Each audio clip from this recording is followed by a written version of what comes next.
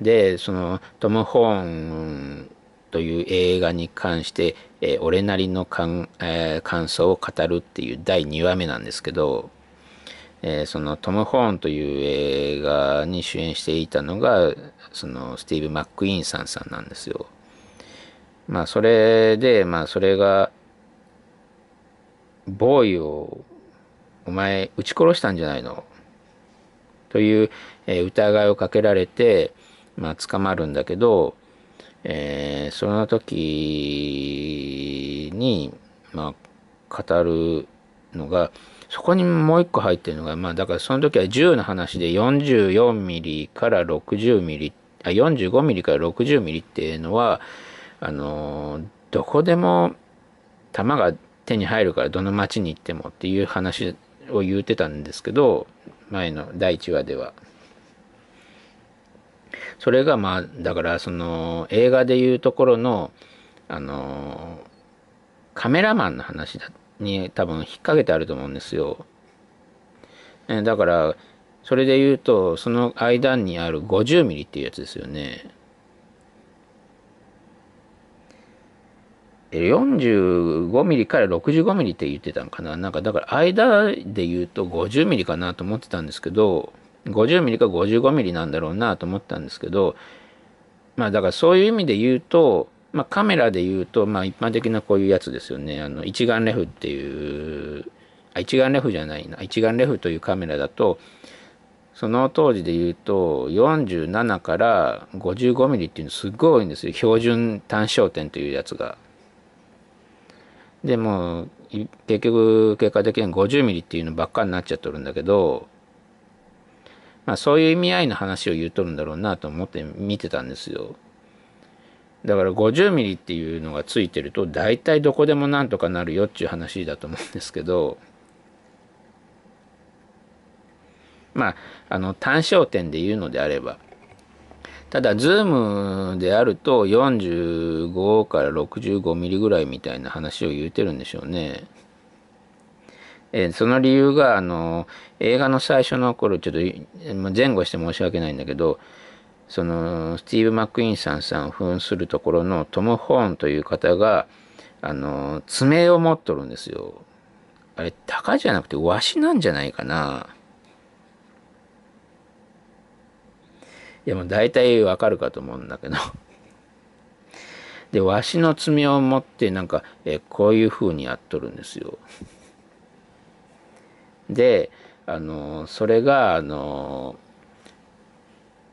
なんちゅうんですか、夕日を、まあ、どちらかというと、なんちゅうんですか、逆光気味に撮っとるから、延々その、太陽のフレアっていうか、なんちゅうんですか、まあ要するにデジカメでもわかると思うんです赤いやつとかもそのレンズの輪っかが映っちゃってるわけですよね。で、それも最初不信感に思ったんだけど、3つぐらいあるんかな、カメラがっていうイメージだったんですよ、私からすると。で、最後の最後で座った時にこうやっとるから、まあ、だから、あれは、でも、鷹じゃないんじゃないの？わしなんじゃないかな。で、まあ、だから高かもしれないんだけど、ただ、あのー、じゃあ俺のは、わしの爪ということでやっていこうかなっていうのが赤いレンズじゃないかなと思うんですよ。だから、キャノンじゃないかなと思うんだけど、私の思うには。あっこは鷹の爪でやってるから、俺はわしの爪やろうかなみたいな話かもしれないですね。いや、それはいいんだけど、それでその、ローヤンっていうか、あの、ローヤンにつながれとるときに、あの、その時にも語ってるのがもうあれですよね、もうウイスキーばっか飲んどるんですよ、そのトム・ホンさんさんが。スティーブ・マック・イーンさんさん扮するところのトム・ホーンさんはもうウイスキーばっかり飲んでるから、あの、酒場では。で、まあだから、牢屋の中じゃ飲めないんだけど、その頃にまあだから何とかしてやりたいんだっていうその牧場主とかと、あとはシェリフみたいな人ですよね、その地元の。と語ってるんだけどその語ってる内容がなんか俺が作ってる時はなんかあの粉っぽくて小麦臭いのしかできねえんだけどみたいな話なんだよね。で、お前すっげえ白い馬乗ってるんだけど、お前のホワイトホースすっげえバーで出てるらしいじゃないかって言ってるんですよ、イメージ的に。それで、あのー、多分シェリフだと思うんだけど、それがおーおーなんて言ってるんだけど、その話は聞きたかったのか知らんけど、牢屋に入ったのか知らんけど、それと喋ってたら、なんかシェリフのシェリフの言うてる、その、俺のホワイトホースがっていうのが、なんかうさんくさいなっていう話なんですよね。で、その、トム・ホーンさんさんはなんか、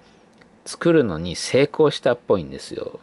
ただ成功したんだけど、その作ってたタンクに穴開けやがってっていうイメージを感じるんですよね。その 密かにあの、まあだから革の袋で作ってたなんかちょっとわかんないんだけど、その時代的に。あの、なんかその若い野郎が銃で穴開けやがってみたいなことだと思うんですよ。まあだからその適当にブラック下げてたら、あのサンドバッグみたいに、どっかに。なんか勝手に銃撃ちやがって、銃試し撃ちに使いやがって穴開けやがってってぶち切れて殺したのがその、そのボーイじゃないかな。それか、あの、その、なんていうんですか、あの、牛、牛、牧場主連盟ですよね、が密かにそういうところで密造していた、あの、その皮袋がなんかで作ってたところに、追い出しやがってあの坊ちゃんが、あいつが勝手に売りまくりやがってるよって、そっちの方の話なのかみたいな話だったを感じるんですよね。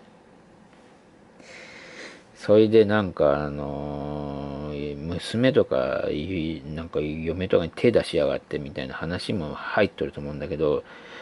もうすっごいまあその誰かの息子なんだけどちょっと言うに言えないからみたいなのでもうトム・ホーン呼んだっていうのそれ最終のそれが本当のあの理由だと思うんですよ。でもう息子世代がすっごいいい気になっちゃってるから。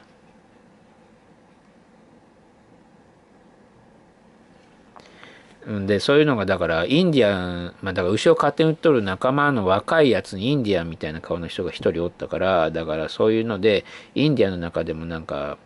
悪さする息子がもうだからどうにもできないからっていうことじゃないかなと思うんだけどそれでそのそのお酒を密かに密造してるタンクみたいなとこに女性が入っとるんだけど、だからそういうイメージですよね。で、それにも、えー、穴開けやがってみたいな。で、それもだからちょっと微妙にインディアンっぽいんですよ。で、顔がちょっとメキシコっぽいイメージだったから、だからメキシコの方にその名をが知れてるというか、あの、詳しいそのトム・ホンさんさん呼んだんじゃないかっていうイメージなんですけど、で、それ、そいつだけ始末したかったっていうことなんじゃないかなと思うんだけど、今思えば。他の牛売ってるでも半ばみんな仲間で、ただ、あの中で本当に牛勝手に売りやがってっていうやつはまあ、もう困るから一応、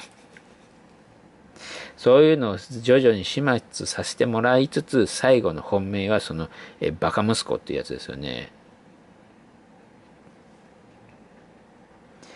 で、あの、それが、えれ迷惑を言ったなっていうのが、だから、本当はトム・ホーンさんさんではなくて、そのシェリフが撃ち殺してるかもしれないんだけど、あの何を言ってるか、その裁判の時それお前のことなんじゃないのっていうのが、その、シェリフと一緒に喋ってるんだけど、トム・ホンさんさんが。そのシェリフの方が、あの、筆記係を呼んどるんですよ。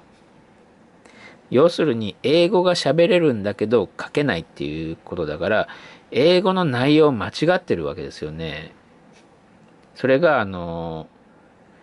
英語で語るプラス、英語字幕っていうのができるんだけど、もうだから、日本語吹き替え版に英語のテロップというか、あの、吹き替えの文章を出すっていうこともできるんです。DVD だと、時によって。で、まあだからそれは日本のリージョンコードのおかげかもしれないんだけど、で、あの、その、そうすると、だから、内容が、あの、トム・ホーンさんさんが、えー、語るように俺が語ったことを書けっていう風な感じの英語で書いてあるんですよ。で、その裁判の時に、その、え、そういう話だったよなってみんな言ってるんですよ。だから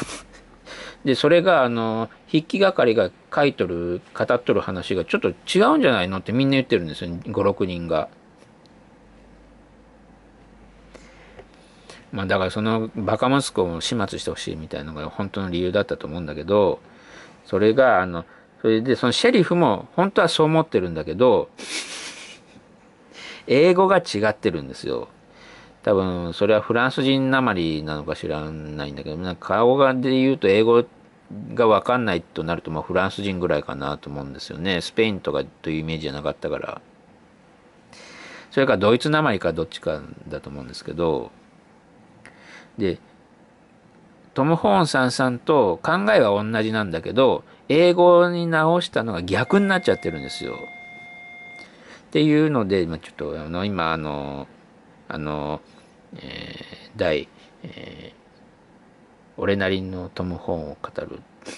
俺なりの、えー、トム・ホーンを見たっていう内容を語るっていう第2話をちょっと終わろうかなと思ってるんですけど。